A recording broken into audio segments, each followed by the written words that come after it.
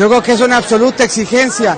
Evidentemente y sin ninguna duda, lo que estamos viendo es un vulgar ladrón que desde el poder se robó dinero y que lo cacharon y debe de pagar sus consecuencias.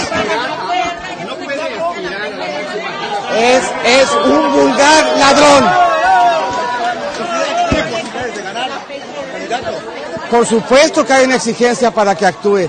No queda absolutamente ninguna duda. Se clavó una lana, lo cacharon y tiene que pagar consecuencias.